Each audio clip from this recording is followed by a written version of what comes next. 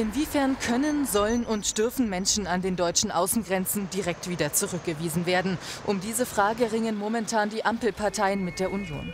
Gemeinsam wollen sie heute eigentlich bei einem weiteren Migrationstreffen über eine schärfere Asyl- und Migrationspolitik diskutieren.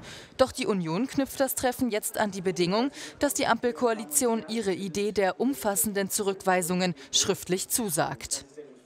Umfassend heißt umfassend, dass im Grunde genommen alle diejenigen, die nicht einen Aufenthaltstitel haben, den Zugang in die Bundesrepublik Deutschland nicht mehr bekommen, vor allen Dingen diejenigen nicht, die Asylanträge stellen. Die Asylanträge müssen nach dem Dublin-System im Land des Erstzutritts gestellt werden.